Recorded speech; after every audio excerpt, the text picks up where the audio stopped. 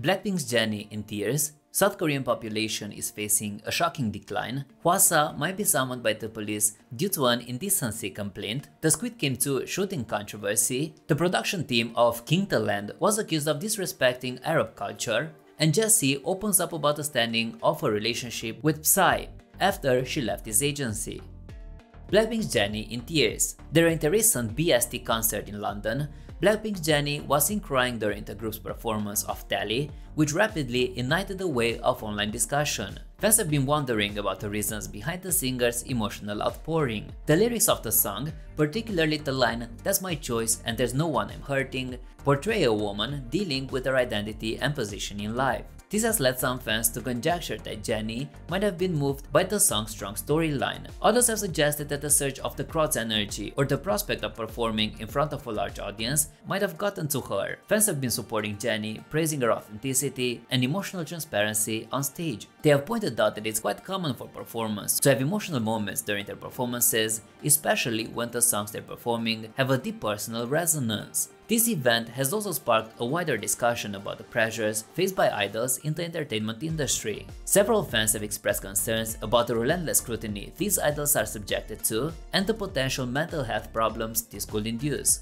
However, one fan responded to the news with a plea for Jennie to take responsibility for her actions, pointing out that a significant portion of the criticism directed at Blackpink stems from her. The fan identified three main issues. Jennie's perceived discrimination against fans based on geographical location, her alleged lack of respect towards her fellow band members, and our disregard for the group's image. They suggested that Jennie could rectify these issues during their upcoming break and by being more considerate in selecting her future acting roles to regain the support of those fans who have been disillusioned by her recent actions. What's your opinion?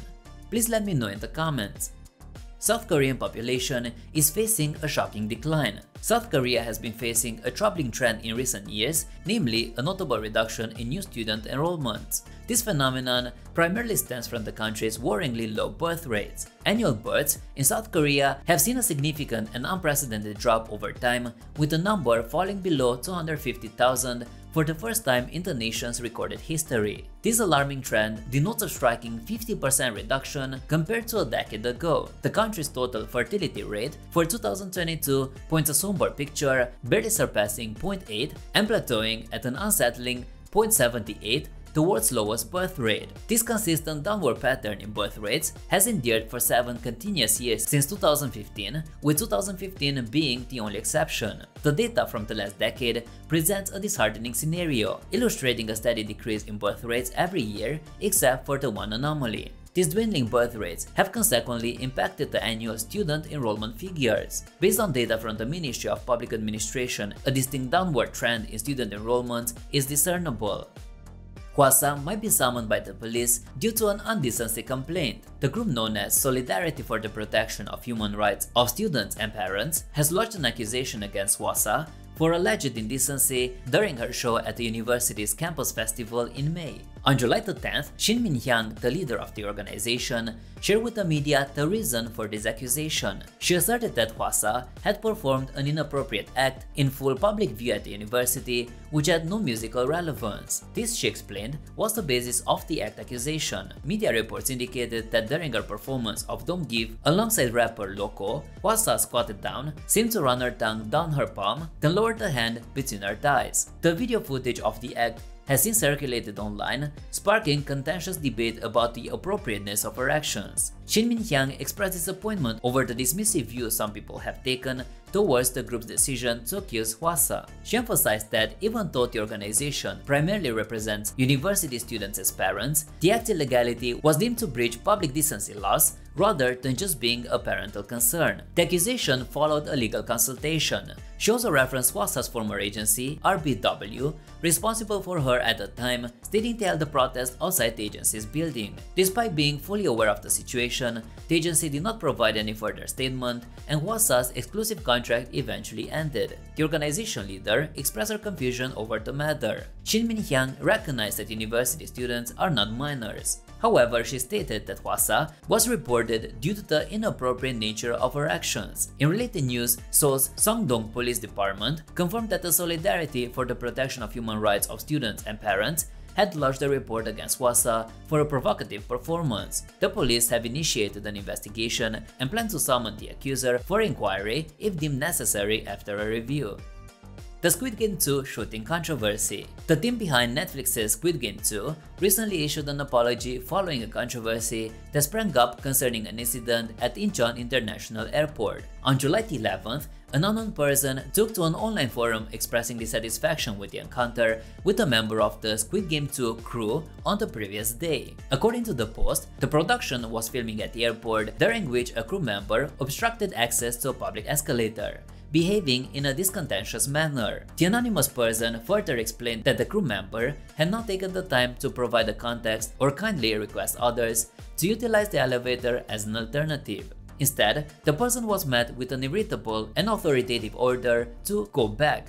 As the online complaints sparked controversy, the producers of Squid Game 2 extended their apologies later the same day. They acknowledged the online post detailing a citizen's uncomfortable experience during the filming of the show's second season at Incheon International Airport on July the 10th. While they had aimed to provide clear information to the public about the on-site situation during the shoot, they expressed regret over causing discomfort. They gratefully acknowledged the understanding of the citizens during the shoot and pledged to extend greater caution during future filming. One fan offered their views on this issue expressing their inability to understand the crew members' rudeness given that it was the film production team who were causing the inconvenience by shooting at the airport. A fan reiterated that it's an airport where people are often in a rush and underscored the importance of treating each other kindly.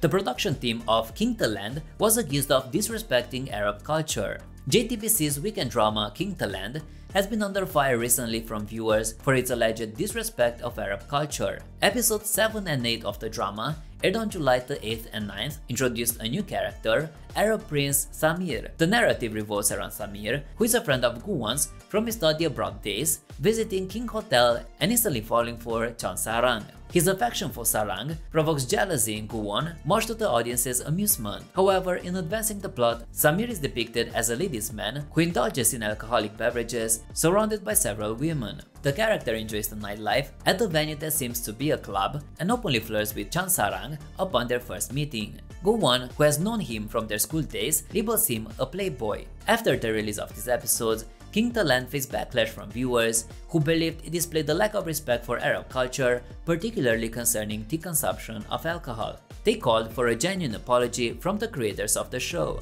Addressing the criticisms, the production team of King The Land responded briefly, stating that all characters, regions, place names, and other elements featured in the drama were purely fictional. They clarified that they did not intend to mock or misrepresent any specific culture. The production team further emphasized their respect for diverse cultures, promising to pay more attention to the production process to prevent any potential discomfort for viewers. Jessi opens up about the standing of her relationship with Psy after she left his agency. In a recent episode of the podcast Fun with Dumb, hosted by Los Angeles rapper and actor Dumbfoundead, singer Jessi openly shared their personal and professional updates. Jessi in the previous year had parted ways with her previous label P Nation set up by Psy. In April of the current year, she announced her association with More Vision and signed a contract with Jay Park's label. The termination of her contract with P Nation took many fans by surprise. Following the announcement in July 2022, Jessi issued a short message on her Instagram requesting fans to give her some time to gather her thoughts, reassuring them that the truth will eventually unfold. In a solo concert in October 2022, Jessi clarified that she did not sever ties with P Nation due to any animosity, expressing her lasting gratitude to Psy. She indicated that her decision to leave was fueled by her aspiration to establish her own label, capitalizing on her 18 years of industry experience. During the recent podcast, Jessi revisited her departure from P Nation, suggesting that the journey may not have been entirely smooth.